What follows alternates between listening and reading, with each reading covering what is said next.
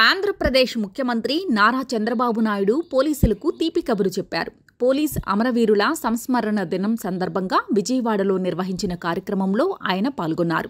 రాష్ట్రంలో పోలీసులు కీలక పాత్ర పోషిస్తున్నారని విధి నిర్వహణలో చాలామంది పోలీసులు ప్రాణాలు విడిచి ప్రజల హృదయాల్లో త్యాగదనులుగా నిలిచారన్నారు. ప్రజల ప్రాణాలు ఆస్తులు కాపాడేందుకు రాత్రింబవళ్ళు కష్టపడుతున్నారని ప్రశంసించారు.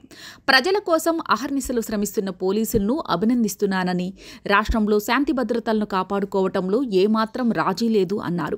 పోలీసులు రాష్ట్రంలో ప్రక్షానిజం రౌడీల ఆట కట్టించాలన్నారు. పోలీసుల సంక్షేమం ప్రభుత్వం బాధ్యతని ప్రతి ఏటా ఇరవై కోట్లు పోలీస్ శాఖకు అందిస్తామని చెప్పారు. రానున్న రోజుల్లో అమరావతిలో పోలీస్ అమరవీరుల సంస్మరణ దినం నిర్వహిస్తామని అమరావతిలో శాశ్వత అమరవీరుల సంస్మరణ స్తూపం ఏర్పాటు చేస్తామని హామీ ఇచ్చారు. రానున్న రోజుల్లో కానిస్టేబుల్ నియామకాలు చేపడతామన్నారు. రాష్ట్ర విభజన తర్వాత పోలీస్ వ్యవస్థలో అనేక మార్పులు తీసుకొచ్చామన్నారు చంద్రబాబు. వాహనాలతో పాటు పరికరాలు సాంకేతిక సౌకర్యం కల్పించామన్నారు.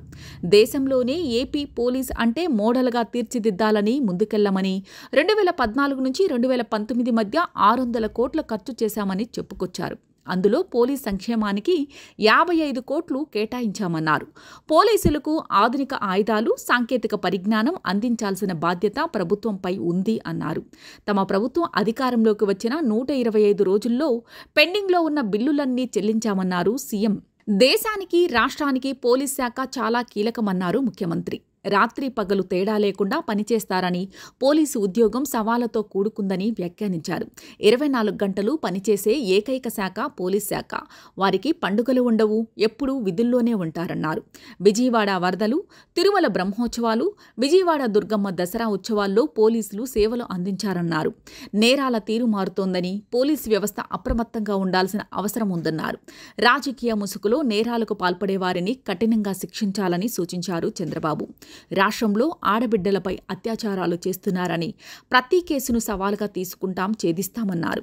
ఆడబిడ్డలు అప్రమత్తంగా ఉండాలని నేరస్తులకు చట్టపరమైన శిక్ష పడేలా ప్రభుత్వం చర్య తీసుకుంటుందని అన్నారు. హిందూపూర్ అత్యాచారం కడపలో యువతి హత్య కేసులో నేరస్తులకు కఠిన శిక్షలు పడే విధంగా ప్రభుత్వం చర్యలు తీసుకుంటుందన్నారు. ఆడబిడ్డల రక్షణే ప్రభుత్వ లక్ష్యమని ఈ విషయంలో రాజీ పడేది లేదన్నారు. రాష్ట్రంలో జీరో క్రైమ్ నమోదు కావాలని శాంతి భద్రతలు మొదటి ప్రాధాన్యతగా పనిచేయాలన్నారు. ఎవరైనా నేరం చేయాలనే ఆలోచన వస్తేనే భయపడాలి అన్నారు సీఎం. డ్రగ్స్ గంజాయి ఎర్రచందనం స్మగ్లింగ్కు అడ్డుకట్ట వేస్తామన్నారు.